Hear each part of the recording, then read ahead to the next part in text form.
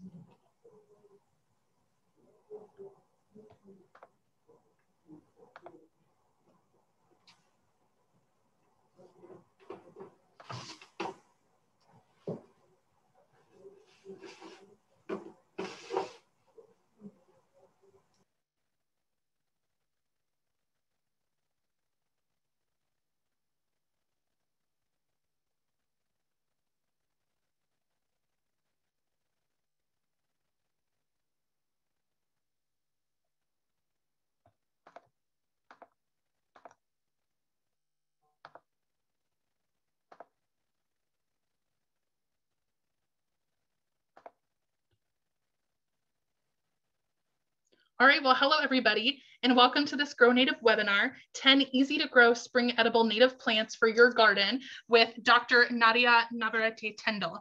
The Grow Native program is a native plant marketing and education program that serves the lower Midwest run by the Missouri Prairie Foundation. My name is Brooke Widmar. I'm the Director of Administrative Operations and Member Engagement for the Foundation. I do want to take a, a moment to thank um, all of you for joining us, but also recognize and thank our Grow Native sponsors listed on the screen. Their support makes educational opportunities uh, like this one possible. So make sure and check out our lineup of masterclasses and free webinars currently scheduled through the end of April. Uh, during this presentation, if you have any questions, please put them in the Q&A section on your screen. At the end, Carol will come on to read those out. Um, the webinar is being recorded. The link will be shared with all of you tomorrow, along with any resources mentioned in today's presentation. Um, so to introduce today's speaker, Nadia owns the consulting business Native Plants and More, and she also works full-time with Lincoln University. She's the specialty crops and native plant specialist uh, for the university based in Jefferson City. Uh, in her past work at Lincoln University, um, and currently she's created the Lincoln University Native Plants Program, the purpose of which is to increase awareness about the importance of native plants and conservation and as specialty crops through outreach and education.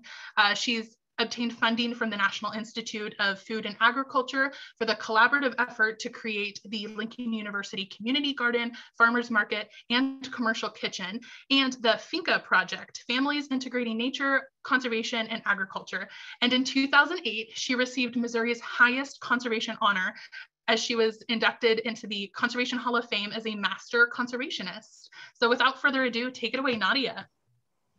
Thank you, Brooke. It's and hello, everyone. Thank you for joining us. And we're gonna keep it very uh, focused today as I decided to talk to you about 10 easy to grow spring native edibles, but this doesn't mean that we have a myriad of plants that we can eat. Uh, I'm currently at Lincoln University and you can reach me uh, at my uh, you can send an email to me if you have any questions at the end. We'll have it uh, for you. The outline on the press of the presentation is native plants versus introduced. Just briefly, we'll discuss that. What uh, foraging versus growing the natives. And also we thought we'll uh, mainly discuss about the 10 native edible plants easy to grow. And at the end, I just will add some non-natives worth trying in some uh, bibliography. As a disclaimer, I want to be sure that you know your plants before you eat them. I'm sure many of you already have tried several. And just to let you know, the stem plants that I'm gonna discuss with you today, including the, in, in addition to the introduced ones, I already tried them. They have already been uh, tested in recipes.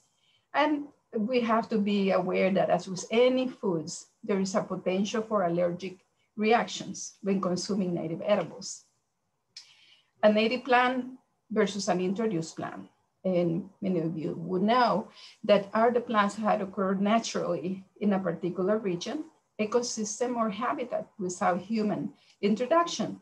And on the other hand, introduced ones were plants that were found in this country after European settlement gathering versus growing them. Native edibles uh, can be gathered, uh, usually from private land, but be sure to ask permission to landowners. And if you wanna gather from public lands, there are different rules that apply at different locations and for different plants. Be sure you learn about them before doing any gathering. And why not try to grow your own? So let's get started. I just want to show you at the beginning this nice picture that we had of a dining well event at Lincoln University about three years ago. And where we serve uh, recipes prepared at least with one native edible. And many of the plants that I'm gonna discuss were served at these dinners. The very first one is wild leeks or ramps is a plant that grows in, across Missouri, scattered. So we are still learning what it naturally grows. It's a woodland plant and the leaves can be gathered in early spring. Here we see a picture in our own backyard with wild uh, violets. Wild leek blooms in summer, in late July. Flowers are pollinated by native bees. They're really beautiful and they stand out because uh, the leaves are all gone. You know, you see is these beautiful flowers and they are pollinated by bees. They, uh, wild leeks propag are propagated from seeds and also bulbs and the seed matures in late September. It takes about a plant uh, to mature from seed. It takes about, um, as a plant growing from seed, it takes about seven years. So it takes long but if you think about a fruit tree, it also takes time to produce. So this is a precious plant that I think everybody should try. But if you don't want to wait those seven years, why not buying them at, at your local native plant nursery? Here are some uh, seedlings that we grew. They require 18 months uh, to germinate because they're, they're special. There's, they have a special requirement of warm cold and warm stratification. For production, if you wanna, if you're interested in growing them in a, as in a farm, both are available in large quantities. They, and we actually got, uh, got some for Lincoln University to do a, a study and here we have some of the plants growing in a raised bed. So if you have a, a very shady spot where you don't know what to grow yet, I mean, you can grow your wildflowers, your spring wildflowers, but if you want to get something to eat, you can start with a raised bed like this. This is uh, this photo is at Lincoln University, and we grew them from local sources. This is a natural site in Columbia, Missouri, where you can see wild leeks growing together with sweet williams and uh, nettles, wood nettles, as, as in jewelweed. It's a pretty sight. And um, wild leeks can be, you can use a whole plant.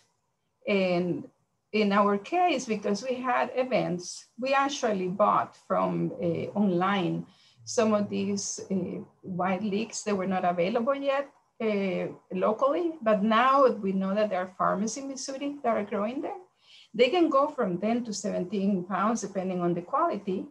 And this is a beautiful recipe that Sam Pfeiffer from Colombia prepared for us, a focaccia bread with wild leek bulbs. This is uh, another recipe, just an idea for you. If you um, prefer to keep your plants, let's say that you have some your leeks growing in your yard, you can just gather the leaves and you don't, and then you can keep your whole plant. It's very tasty. The second plant I wanna mention is Golden Glow or Sochan. This is a very special plant and it grows in also in woodland areas and is very, um, blooms in late uh, in the fall. So the golden glow name is because it really glows in the dark or in the shade of trees, the flowers. The leaves are the part that you should eat in early spring and also in the fall. This is how the plant looks right now. They started to, to grow even in late winter when we, we had had some so many warm days, so the plants are really starting to grow. And but they can also go grow go through early spring.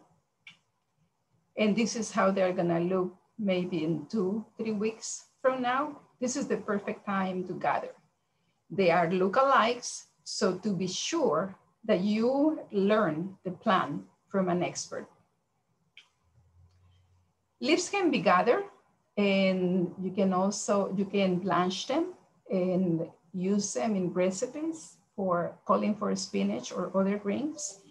But you can also use these, these plants for, um, you can store the plant by dehydrating the leaves. And this is what I have here. And I, I don't know if you can see what I have with me, but I always have uh, containers with dry native edibles. We have them, it's what we use for spices at home, as well as other things. Golden glow is very special and it's very easy to grow. Uh, this is, I just want to share this is what this is, this is uh, at Lincoln, we work with, with communities and this is in Jefferson City. Um, Patsy, Johnson, a community leader, prepared a kit for us. So that was special because it was their, they, it was the first time for everyone in the, in the workshop that had a golden glow for the first time. These and other plants were established, you can see here on the right picture, uh, were established with funds with an MPF garden grant. And we have other edibles. And this is um, just to show you in more detail. This is Blanche leaves of golden glow with, uh, these are the, the, the ingredients I use with wild leeks. That was my egg casserole, simple and easy to do. Egg casserole frit frittata is probably the same ingredients, only different forms. The next plant is, is cup plant. This probably might be very, uh, it's a well-known plant. It can be a little aggressive and probably that makes it a, a good candidate for, for um, a specialty crop because they, they really can grow bad. Uh, so you can gather from seed. You can gather the leaves in the spring most uh, for a short period. So in order to keep your bounty, I recommend to do the blanching and also you can freeze them as well as uh, dehydrate them and then you can add them in, in your stews or soups. It is a perennial like the previous ones. And uh, as you can see, we had a monarch butterfly here and many other insects uh, love the flowers in the fall, some summer and in early fall. This is the, the basal leaves of the cup plant that you can gather. Again, the leaves are edible. You need to cook them uh, slightly before you eat them. They are okay eating raw, and, but I prefer just a slightly cook. They're only harvested in the spring, as I mentioned before. These are the leaves, and then uh, you can use them, once blanched, you can use them in soups, appetizers, and even my husband has tried them in kimchi. He made a good kimchi. Next plants. Actually, these are two, but I put them, I group them in one. Wood nettle and stinging nettle. Both would sting you. So you have to be careful when you harvest. But one really interesting thing about this plant, besides being so nutritious and available for us to eat, is that they are host plants for the comma, question mark, and red admiral butterflies. Wood nettle is actually has round, much more round leaves and they're alternate. They're both shade tolerant, so they might grow together, these two nettles. This is considered a native. And here is wood nettle with wild leeks again in a natural stem already the, the leeks are dying off. This is later in the spring. Stinging nettle or Urtica dioica is actually considered by some to be native and by some not to be native. So, and the reason for that is that there are two, two subspecies. And but well, since they are so nutritious, I, I would recommend that even before you learn if it's native or not native, you should eat it. They're really tasty. May, this plant here is probably a little too tall. In this case, you would only gather the leaves. And of course you need to use gloves. And also you need to blanch them. These ones actually do not require much cooking. One minute, some recommend, but I would say a little longer if you're not too, uh, if you wanna be more cautious, maybe no more than five minutes. And here's how they look right now. I took this picture just yesterday from our backyard. And the way we keep them, they do spread. They do like to grow everywhere but we have them in an area that is contained by a raised bed. And by harvesting constantly, you, that would be a good way to control. And here's what we do in this event that I mentioned at the beginning. We had this, this soup prepared with nettles and wild, wild leeks. That was a real hit with participants. Now, the next group is native onions. Again, I group this in, these are two native onions that I like to talk more about. These are pictures of Allium canadense or glade onion. We also have meadow, lar meadow lar uh, garlic. This is a, um, this onion is found in dry uh, woodlands and glades and also um, blooms early in the year, in the spring. The bulbs and flowers are edible and provides forage for bees, and beetles, and wasps. So it's an important plant. And meadow garlic, this is how it's looking. So you can recognize the seedlings, how they are. Sometimes it's very hard to separate onions, even uh, non-native onions from the natives. The, we have these ones growing in raised beds again in our backyard. We have a lot of shade, so, and these ones are uh, tolerant to, to shade. Now we have, um, this is, this is the same, these are the same plants that will be later in the year, this is how they are gonna look. So if they look pretty similar, like in the glades, and they like to spread. The fall glade or prairie onion, as the names, the different common names suggest, is a plant that blooms in the fall. It can be found in glades or prairies, and also um, they do like sun, full sun, but I have seen them growing in, in moderate shade in the company of other plants. So uh, I would call them like like fireworks when I see them because they're so beautiful, especially if you have a grouping growing. And all of these so far are perennials. They are definitely a good source for uh, beetles. Uh, for They are foraged by beetles, bees, and other insects. And here's a little tiny sweat bee feeding on the flower. Glade onion and here is how it's looking. I took a picture at Lincoln. We have a, a raised bed also with um, where we have asparagus and, and and they grow together perfectly. And we have dittany and other, I mean, uh, chickweed and other little uh, non-natives, but we can also harvest. These are perfect plants to grow in pots if you don't have enough room for them.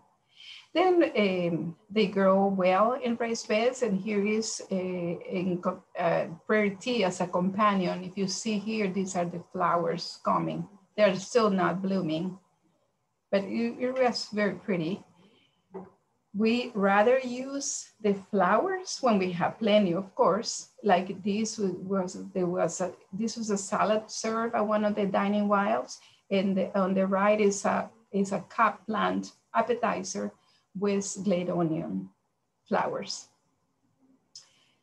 Lead plant might not be, a, maybe it's not one that people have tried so much, but we did learn that the leaves are can be used for tea. They're so beautiful, they are good for pollinators, and you can still use it for your teas without um, depriving the bees from feeding on the flowers. what you do is that in our case, this is a, a site that is a native plant outdoor lab that we have at Lincoln. So what we do is we prune some of the areas and then and we, so we can use it. We keep using the leaves for tea. We also dry them for later use. And here is a, one of the, the three, in one of the events, we had three different native teas. The from lead plant, mint, and sumac teas. It's really amazing, it's amazingly tasty, the lead plant, and mint, of course, and sumac. Another one that you might have not tried before is spiderworts. We have Ohio spiderwort, and we have um, woodland spiderwort. Both uh, provide leaves and flowers that are edible. You can eat them raw. And I tried them for the first time last year. You just have to use your favorite um, salad dressing. And they, and if you add some of the flowers in your backyard, could be red bass or violets, it's really a tasty salad. This one actually has chickweed as well as henbit leaves. And here's how you can is is the the how the plant will look like when you can got, uh, harvest the leaves. And later today the leaves are so uh, tender it's smooth that they they don't they never get hard like nettles ostrich fern is, is another one that i think it should be planted more for food we had a, a couple sites on at Lincoln and they really reproduce well. If they like the place, like this is a little uh, area in the north side in between buildings and it's just perfect because it's beautiful in the later in the spring in summer and even through the through the end of the year but uh, you can harvest you can use the leaves only at the beginning of the year i don't have pictures of the recipes that we prepare. But what you do is that you gather the uh, unfolded leaves or fronds and they can be raw, slightly cooked, and saute or roast, roasted, and add to salads or stir fries and frittatas. And uh, my next group is violets. I think many of you, many of you might have tried the, the flowers. They're so beautiful and they're sweet and it just, it just, they're just beautiful in salads. The leaves are also edible. You have to be a little careful if you have never eaten them because it might cause some problems with your stomach if you eat too many. But if you just add some here and there in the salad, they should be okay.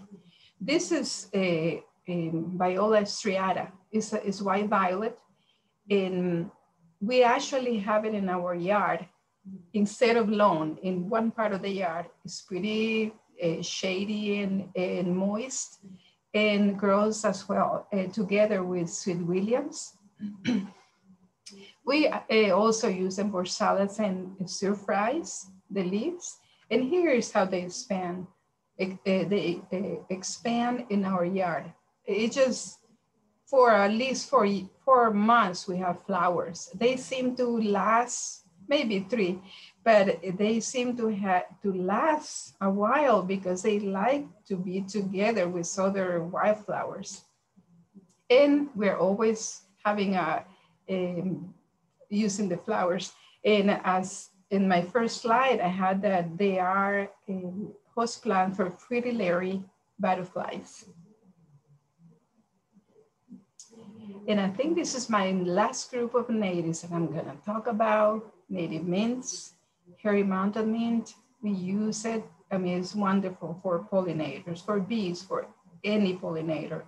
And we use the leaves in the early, in the spring and through the summer. And, and also we prune them if we have plenty. And so we can have new growths. And we use them for tea. And for desserts. slender mountain mint is also, uh, we have used these leaves, but we have found out that they are not always have that strong smell like hairy mountain mint. Hairy mountain mint is, is the best. And this is one dessert that we tried one year that you can see it, it was just amazing. Mountain mint chocolate chip cheesecake. I hope that in the future we can do again these Dining Wild events. And some of you probably had uh, participated in them. It, they're really fun. And within the mints, I group them together. I group them as, a, as native mints. Uh, the last one is dittany. It, this is a very small plant with a very, very, uh, that is very aromatic, as the scientific name suggests. Is uh, you can place it for oregano. It grows in open woodlands or savannas, but again, also we have it growing in our front yard under the shade of a sweet gum, but also is open in the part of the part of the day. It has maybe um, like four hours of sun. And um, they are perennials also, and they bloom in the fall. You can use the leaves or the flowers. Uh, both are edible, and you can start gathering the leaves early, like in uh, late spring. So we use them as a spice, and, and they, we gather them all year and I was, I think I have, this is what I do is, this is actually nettles, but this is what I do. I dry them and I keep them in little containers like this, like any spice. And we, we have prepared crackers and shortbread. They have been flavored with dittany. And this will go perfect with chicken, also flavor with dittany. And this is the last slide I have for native edibles. And we're gonna move on to some of the uh, introduced edibles that I think they're worth trying. Like this one here, you can see henbit. And we this picture was taken in, a, in the teaching greenhouse uh, on campus where we let them grow together. We just gather both and they go in salads together um, of these, uh, of the non-natives, I think purslane is my favorite. It grows, in, it's an annual. Uh, it can be really, really a nuisance in, in, your yard if you don't want it. And, but the whole plant is edible. And what we do, we, we prune it and then we keep, uh, we keep gathering uh, the new growth.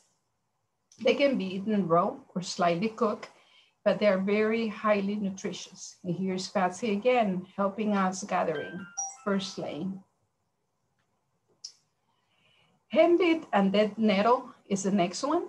Uh, uh, I put them uh, together because usually people get confused with them. They look kind of like, but if you see them closely, they are a little different. And they can also be used in any uh, any recipe that calls for greens. And I was reluctant to try them because I see them growing everywhere, but they are, they are really tasty once you, when it depends on your recipe, of course. You can collect the leaves in the springs and eat both leaves and flowers. And uh, lamb's quarter is my last one. I had to put it here because I hope people already are eating them. They are so ubiquitous they are in every garden that has good soil and they're really tasty. You can find your favorite recipe with them and replace for spinach uh, or kale. It's very tasty in soups. And with that, uh, I just wanna uh, show what, I just have talking about some of the native greens that you can eat. There are so many, but eh, at Lincoln, we have this beautiful area that we call finca, a finca, finca eco farm. A finca is the acronym for Families Integrating Nature, Conservation, and Agriculture. It's a, a one of the grants that I got a few years back. but finca in Spanish is also the name. It's, it just means farm. And I would say more small farms is how it is in my uh, country, El Salvador. And so here in this, uh, in Finca, we not only have native greens, we have fruits, we have tubers, plants, and specialty crops. And with the last uh, slide I wanna show you is um, we have the biblio a bibliography, um, a bibliography of what I have. This is in my own shelves. This is only a few of the, of the books that I use. There are so many more. I would say, uh, well, we'll talk about it if maybe somebody has a question about the books, but none are really, none is comprehensive. You need to have several. And with that, I thank you for your time. Next time, we'll talk more about desserts when we talk about fruits. Hopefully we can see, I will see you again or you see me again. And for more information, please uh, contact me at navarrete and lincolnu.edu or on my Facebook page, Native Plants and More is where uh, you can find me and you can communicate with me.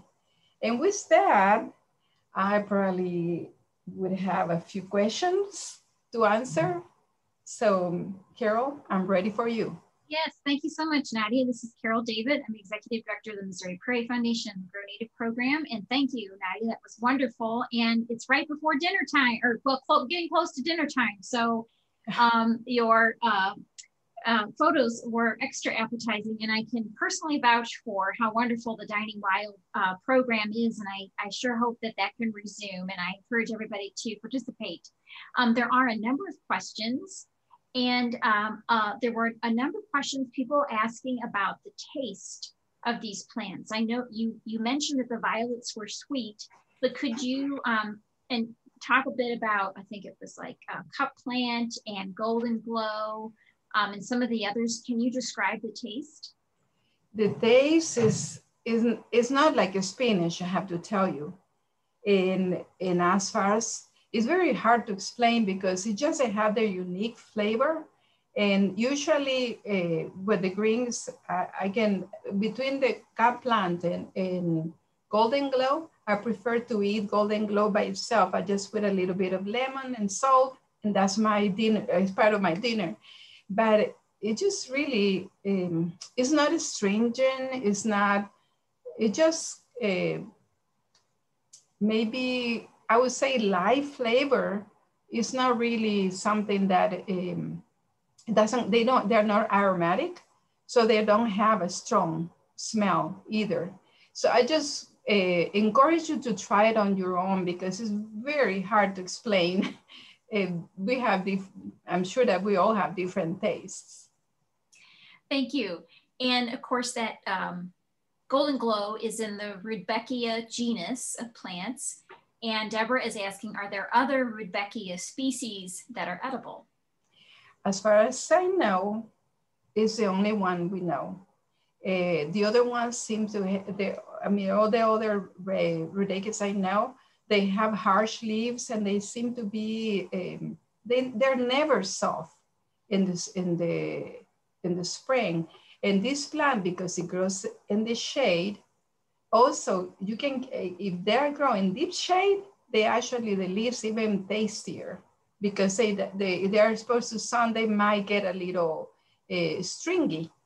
So no, as far as I know, I don't know any, any other. Thank you. Um, Jill asks, you said Golden Glow has lookalikes. Are those lookalikes potentially poisonous? There is, yeah, there is one that it might be, no, no, actually there is one plant that I, um, um, no, they're not poisonous. I cannot think about the name of the plant that I've seen that I really, I really thought it was a golden glow before I was, I knew, knew it well but is there are no poisonous lookalikes. Thank you. How much of your growing onions can you safely harvest without weakening your plants? in as I mentioned that I with the glade onion, the glade onion, Carol. Uh, she said growing onion, but maybe she meant glade onion. Uh, well, the the onions. We prefer to use the flowers instead of the tubers. If we, the only way that we harvest tubers is when they are really abundant and we grow them in raised beds. So uh, we are not talking about a garden that we put these plants here and there. It's more like a, on purpose. We're growing them on purpose to um, as crops. And they reproduce uh, readily uh, from, they actually form bulbs around the mother bulb. So you usually don't deplete uh, your plants if you gather some bulbs, but you have to wait until your stand is well established. That's for sure. But if people are concerned about cutting, uh, killing the plants, just use your flowers just for a um, subtle flavor in your salads.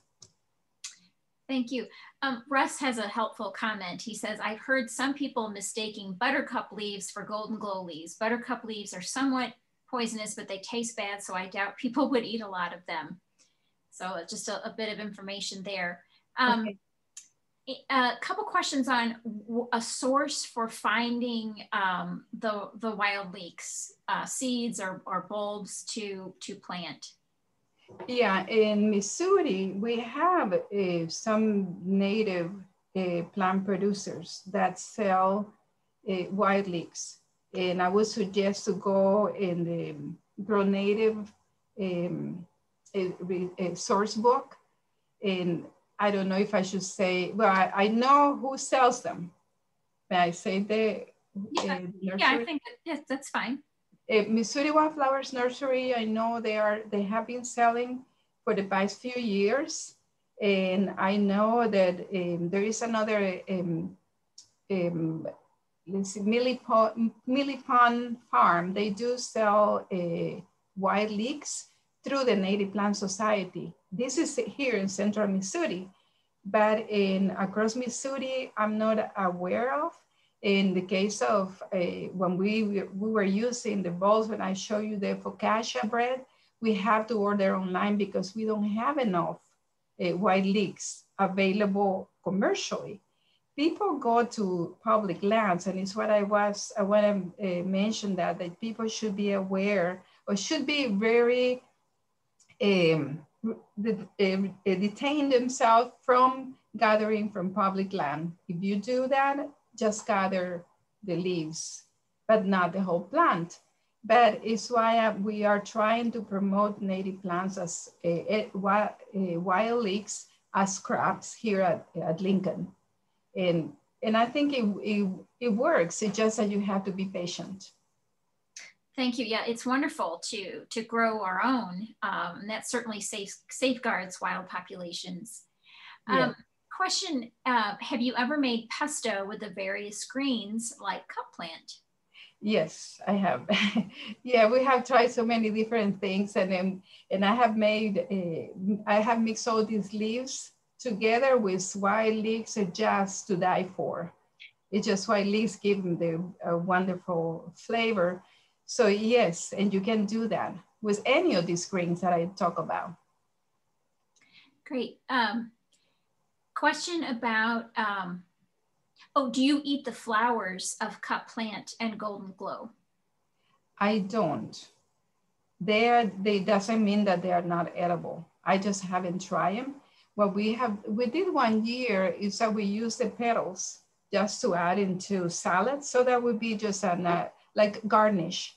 But it's a little hard to, if you have plenty of plants, of course you can use the plant, the, the whole flowers, but I would suggest just to use the petals. Everything else would be kind of harsh to eat. Hmm. A question about dandelions. Of course, they're non-native, but uh, they occur in our lawns and lots of other places. Can you talk about um, eating dandelion plants? yeah, I would encourage people to do it. Right now is, a, is the right time. Uh, like there's so many native plants and so many edibles in your lands that you don't know about. Well, at least I didn't know for so many years. And I finally tried dandelion and this time right now, they're just perfect, they compare to arugula. And I know there are many people that are so into eating them for any purpose. So, so yes, I encourage people to eat dandelion and the flowers too. And of course you use the flowers to make fritters, but that, um, I rather use them fresh. Yes, they, they, people should be eating them. And, and Nadia, you say now is a good time because the leaves, they're more tender. Is that what you mean? Yes, because before they, they, like maybe another two weeks or um, uh, during the, after these strains, it would be perfect. They would be tender and they don't, and later on they get a little um, kind of like, a, they have some spines in the leaves and also, but very tiny. And also they get very, very bitter. That would be something that people like in the, their salads, like arugula and, but I do prefer them this time of the year or when the plant is, is young. Thank you.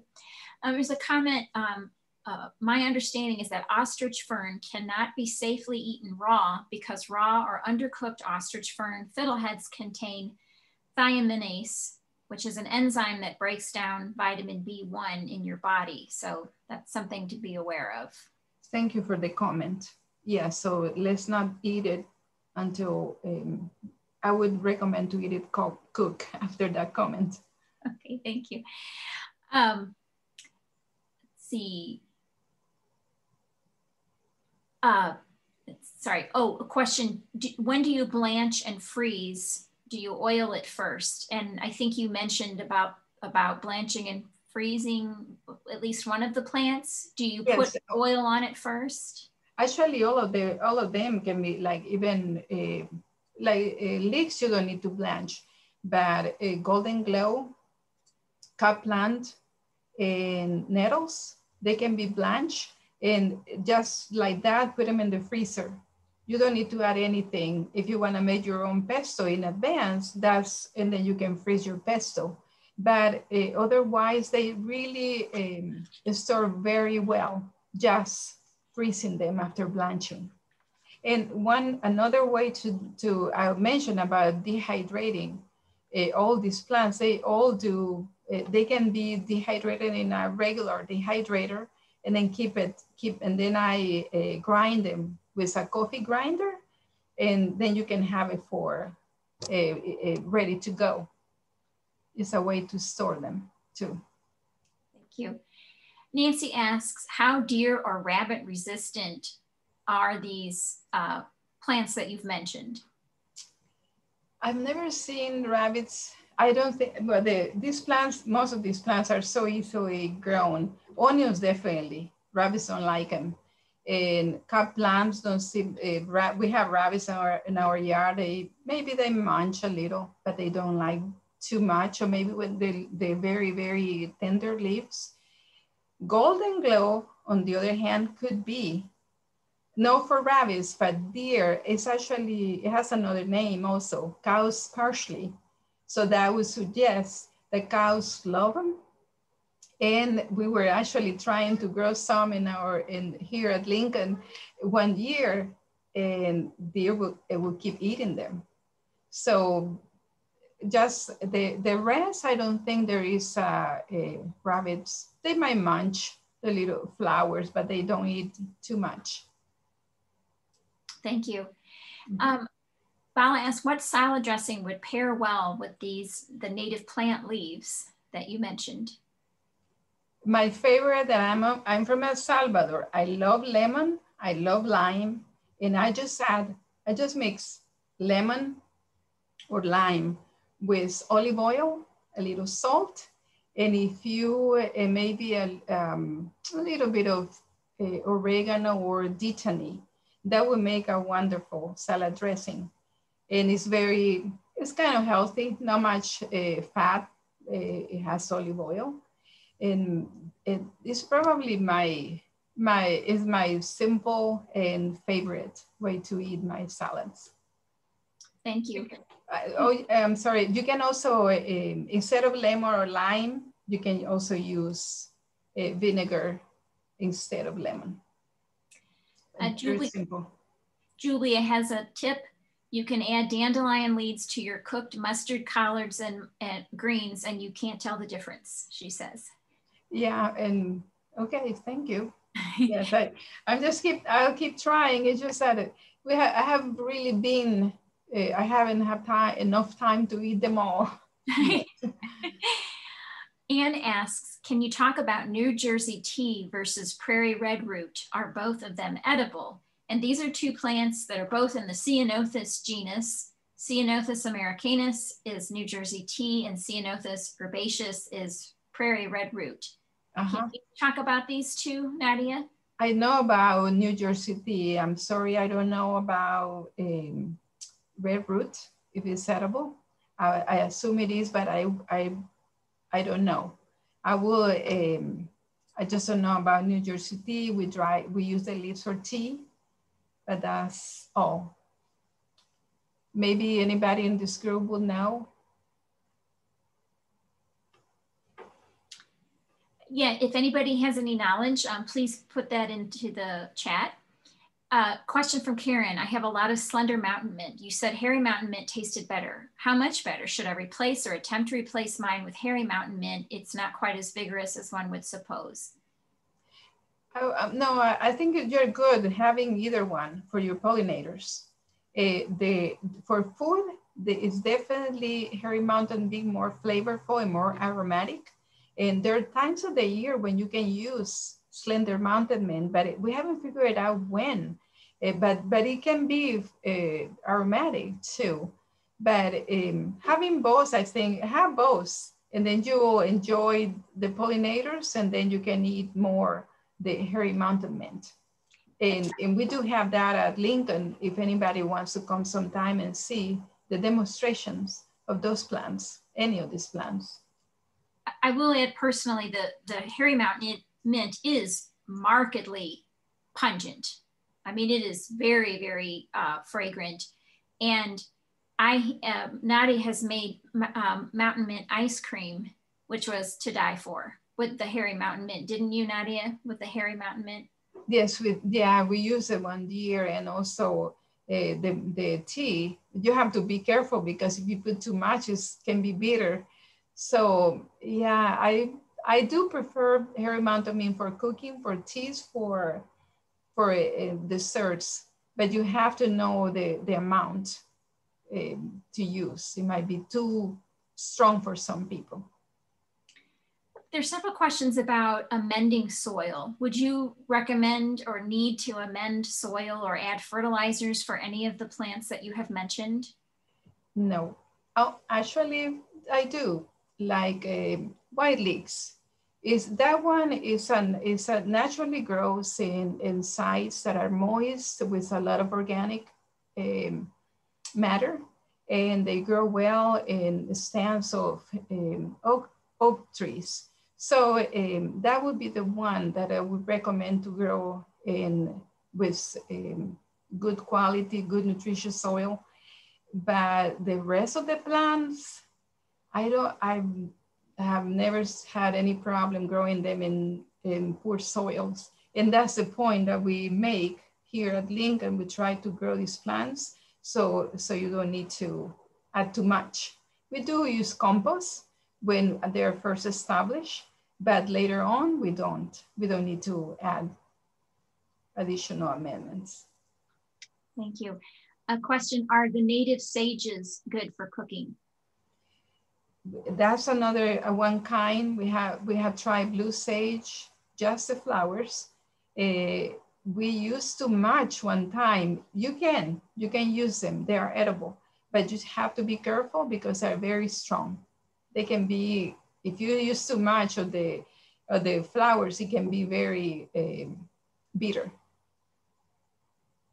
Uh, Becky has a tip about uh, leek seeds. Leek seed needs to go onto the ground in September or October, right after it falls off the plant. If you wait a year, it will take another year to germinate, if at all. Yes, leeks would grow better in compost amended soil, she recommends.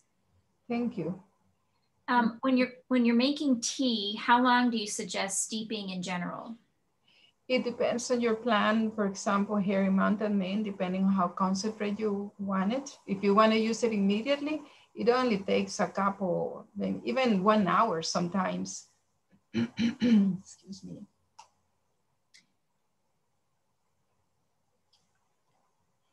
But there, there are like, let's see, I mentioned one that we, let's see, now I uh, have to remember what I had. But some of the, it depends on, uh, like the means, they don't need to have, the, they don't need to be steep for too long.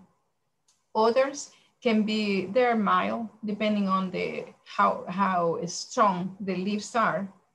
Um, so it just varies depending on the species.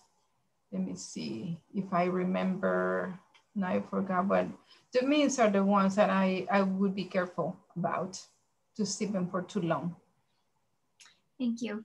Um, there are several questions about how to identify uh, these plants. And for most of the native plants that Nadia mentioned, uh, we have photos and information about them in the native plant na database on the Grow Native website, and we will send a link uh, to that uh, in the uh, email that Brooke will send to everybody tomorrow, along with a link to this recorded webinar. Also, we will include the uh, names of the uh, publications that Nadia uh, sh showed on a previous slide. And there was a question, Nadia, of those books that you showed, um, if you're just starting out, which, which book would you suggest? I would suggest the, this one. Oh, this. The Wild Edibles of Missouri? Yes, because this is a this is very basic and is is very local, and it has also native. It has natives and non-natives, and it has good illustrations. It's available in in the website, of the Missouri Department of Conservation Conservation website. It's out of print, but you can download it. And there are uh, others, as I say, it's very hard to recommend any particular book because they all have some plants and the others, they all have, others have some. This is the latest, oops, is the latest, the forage. Can you see it now? Oh, it's backwards. It's the foraging the Ozarks. It's one that, that is just out of print and it's very, um, so it is a lot of, it has a lot of plants that we have in our areas. There's some missing, but maybe with the other one, you will complement uh, your sources. Thank you. A question about, are any of the recipes that you've shown, are they available anywhere? I'm working on it. Uh, I took a break from, from my native plants program for three years and now I'm back. So we are working on making um, a list of native uh, uh, recipes. I did a write, um, we're working on fact sheets. So if anybody wants an, any particular recipe that they saw in the, in the webinar, they can send me an email and I'll send them to them. But right now we don't have them available for uh, online yet. Thank you. I'll also add that we do have a native edibles page on the Grow Native website, and we do have several of Nadia's recipes there. And um, and we're going to ask Nadia for more recipes too. So yeah, I'll be happy to. Thank you, Nadia. A question, what is the large leaved plant in the background behind you, Nadia? Oh, it's actually, let's see, let me, let me, you can see it better. Some of you might recognize it. It's actually a duck potato or arrowhead plant. It's a wetland plant that grows in ponds. And we did try it. I mentioned that we are actually evaluating tubers in this plan, we produced uh, some tubers at the end of the year. They were very productive. We did a, our, um, last year, we did a preliminary study. We grew them in tubs. And that is something that we're gonna do again. This time formal, we'll do some research and hopefully we can develop some recipes for people to try. Wonderful. Uh, question, are you planning another Dining Wild experience this year? I'm waiting for the for um, the blessing from Lincoln, but it might be until next year. We do want, we are planning to do some uh, maybe smaller, much smaller than before because the situation with the, with the pandemic, but we do plan, I will, um, I don't know the days, but the plan is to have one, even if it's small. And they can check the, the webs, uh, the Native Plants and More Facebook page and we'll share it with Grow Native when we when we are ready. Thank you. Um, where can you get duck potato?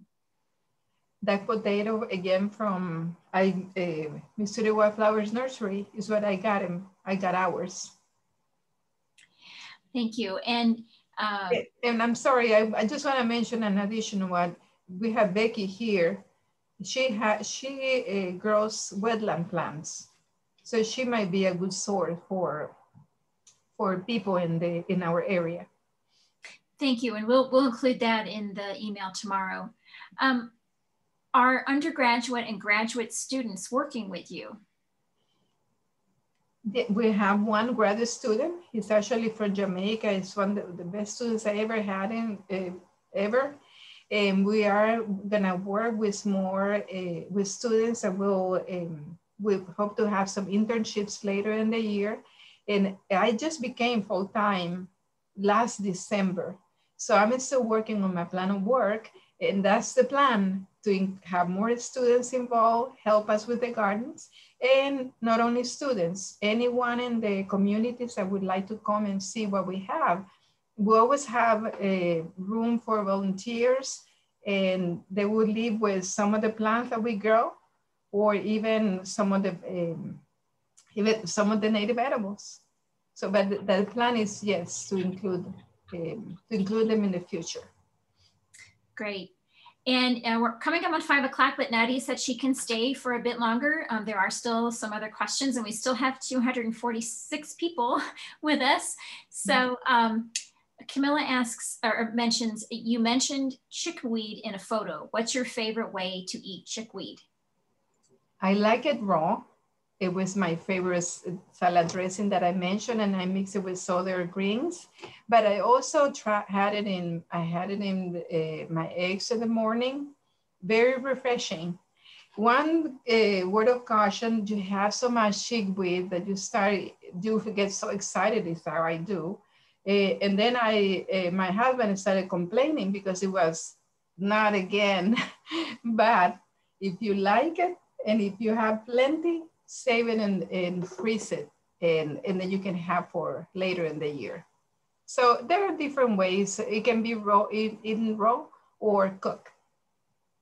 Thank you.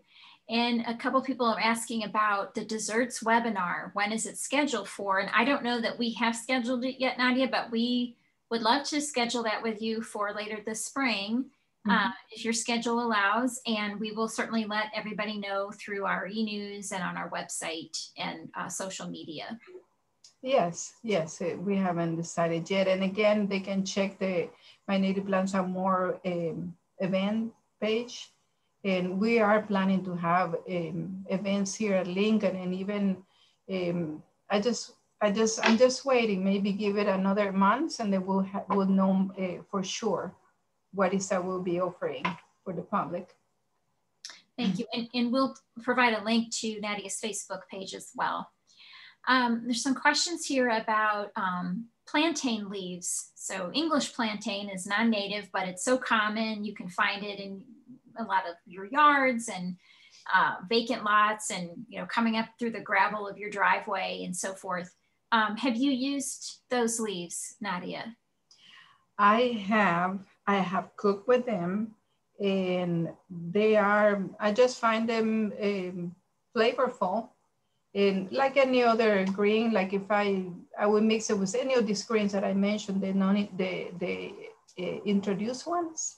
And I just, but I haven't really done too many recipes with them. I do, I have tried them. Thank you. Uh, is it difficult to grow lead plant? No. Well, if you buy, um, you can grow from seed and, and do your, your regular stratification um, uh, methods that you have to go this uh, after propagating, after uh, allowing the seed to be for six uh, weeks in cold, cold and moist conditions, you can have the germination. Um, but you can find it in native plant nurseries too, and that would be much easier. But um, we have done it and they grow, they are viable. The seed is pretty viable. Thank you. Will it hurt violets to take the flowers? No, really. When I show you, I mean, I don't go, I wouldn't do it if I just had a little patch of flowers. But you saw, eh, if you saw the, the backyard, we have not only, I only show you the, that piece of, la, of area where we have the white flower, white violets, but the, pur the uh, purple violets, they grow uh, in almost every pot that I have and I let them uh, grow on purpose. So I always have a source and I always see there's always a, a bee or other insects visiting others. But it's, um, of course, you, you can do it if you have plenty. Thank you. A question about, um, uh, so the, the cup plant you talked about is in the genus Silphium. And Kathy asks, are other species in the Silphium genus edible? It's the same as Rudbeckias. They, we haven't found any other. The other leaves are so harsh that can be used as, as scouring pads, but this one is so soft. And it's also, they happen, these two species, Rudbeckia laciniata and Silphium perfoliatum, they uh, really do well in, in woodland conditions in shade. So, and then that allows the leaves to stay um, more tender. But no, I haven't, I haven't tried the others. They are, and I haven't found any sources that tells me, tell me to eat them yet. Thank you. Um, there were a couple questions about, are there issues with insects for any of these plants? In other words, are there insects that might um, uh, damage? Negative, yeah, damage or negatively impact them.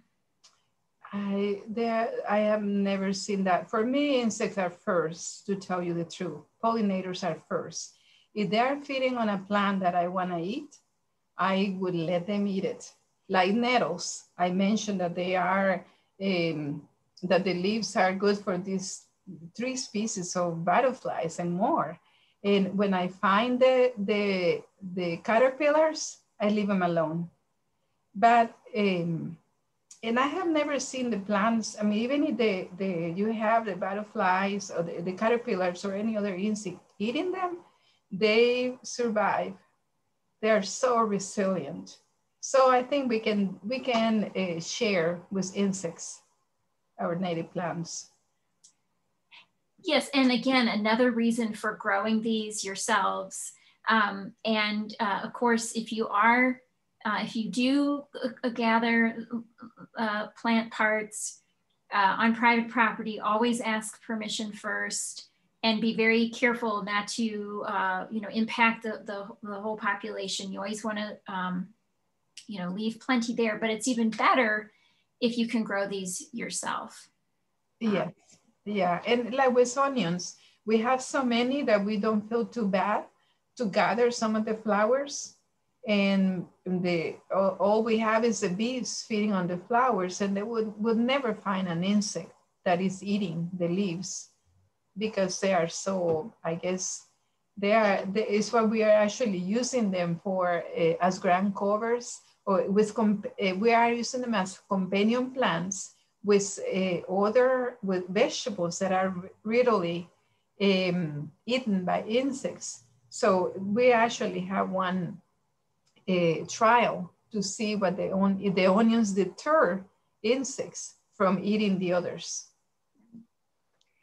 Um, a couple other questions about, um, so a, a, number of the plants that you spoke of, um, how long would they keep fresh? So for, for example, if you picked some and you know, like in your refrigerator, how long would they keep fresh? Cup plants? Or, or, or any of them, yeah, that you mentioned. Yeah, actually, um, yeah, I was gonna say the white leaves are the ones that get wilted very fast because their their leaves are very thin. So we put them in um in in the leaves. So I put them in in um Ziploc bag or in a container in a um, in a container cover container in the refrigerator to keep them a little longer. But things like cup plant, um, golden glow, the onions, they, they last, nettles, they last a, a, while, but you have to put them in refrigeration, refrigeration of course. And again, um, then you can always dehydrate. Um, and again, did you say that, do you do anything? Do you put oil on, on them at all before, or you just dehydrate them straight? No, I do. I just do, I dehydrate them. I'm, I'm sure that there are, that you can try that but it's kind of gets messy if you do that. They don't dry well if you put oil. Uh, so in that case, I better blind, I prefer to blanch them and put the oil and freeze them like that. Mm-hmm. But no, uh, for I have never tried to dehydrate plants with oil. And do you, you don't blanch before you dehydrate? Uh, no, no. Just before no. you, but you blanch before you freeze? Yeah. Okay, thank you. Um, questions about dead nettle and henbit. Mm -hmm. how do you eat them and identify them? Same way. Uh, we can put the picture, it's not that far from the last one. If you can see, it's just uh, the only way that, I mean, I can explain it to you, but the best way is just look at how they're, uh, they're um, similar but if you see this, the henbit had, it almost looked like a pagoda plant. And then from there, you can see the, you will see, this one is not blooming, but I will show you one. Uh, it's right here at the bottom of the dead nettle. If you, you see the, how different they are. The, in henbit, you can see the, the flowers are more prominent than in a dead nettle. Could you put your cursor on that henbit flower? Can you? Can at the very bottom. Oops. Here? Yes, there it is. Yeah. So they're in the same genus, similar flowers, similar flower structure, but yeah, rounded leaves with the henbit and the pointy with the dead nettle and um, both very common uh, in our yards and so forth. It would be fine if either one is fine, it's edible, and then you, the way you cook them is just so like if you see, I would leave the, I would allow the henbit on the left to grow a little taller, and then I cut the the the whole plant, but not without the roots. And the and the dead nettle to the right is is is ready to be cut. Even this one probably grew a little too tall It's already getting stringy. Um, so, and that's what, what we do is that we treat, we keep pruning, we keep harvesting, and then you can get new growth to a point. They eventually disappear before, when it gets too hot, they disappear. And uh, one thing about these plants is that um, they can go in any recipe calling for, for uh, spinach. I rather eat them uh, slightly cooked, either uh, saute or uh, blanch, um, boil very for a few minutes. Thank you. Uh, and just a couple more questions. Um, what about plants in the carrot family? Like native plants in the carrot family, are they edible? Or even our non-native ones like Queen Anne's lace, are they edible? to tell you the truth that I have never tried one. Maybe it's one of my next plans to try this year. And but I, I really don't know um, a golden Alexander, any of the golden Alexanders will be a, a edible, but we have a, um, a native parsley that I need to check on that, but I, I don't have a, an answer for that yet. Um, uh, uh, Becky mentioned she that the Queen Anne's lace uh, is edible, and she also mentions that the henbit is blooming now, whereas the dead nettle blooms just a little bit later. Um, let's see. uh, boy, so many questions. Um, one other question, how long can golden glow and cup plant leaves be harvested before they become unpalatable? Usually, um, probably would take a, like three, four weeks, not much longer. Is when you start seeing that the, the inflorescence is forming in the center is then it's probably the, the, the leaves are getting a little stringy. But uh, I mentioned that, uh, I don't know if I mentioned it, but um, golden glow can be eaten also in the fall. And that is um, after like, so you actually just harvest basal leaves. You just have to try and see, depending if they're growing in very deep shade, your basal leaves might be, still be very soft. But once the inflorescence is growing in the spring, is probably a, a good time to stop. I haven't had them even when they have flowers, but it's it's just a trial and error with these plants, to tell you the truth. That's right. Well, um, I'm afraid that's all the time we have now. Um, thanks everyone for participating. Um, and just a final notes, um, there are plants that can look similar to uh, the plants we've mentioned today. Never eat anything unless you know absolutely sure what it is. Uh, for example, there's uh, poison hemlock is in the carrot family, and you would not want to uh, uh, make a mistake with that. So um, this is all for general information. Um, do remember if you do any harvesting on private land that it needs to be done sustainably and with permission from the landowner. Do check the Grow Native Resource Guide for sources of seeds and plants uh, of the native edibles that uh, Nadia has mentioned. And uh, we will send an email tomorrow with uh, many of the resources that were mentioned. And we will definitely be, be planning more programming with Nadia. And Nadia, thank you very, very much for your time and expertise in sharing your knowledge uh, with us this afternoon. Thank you for the opportunity. Goodbye, everyone. Everybody. Bye.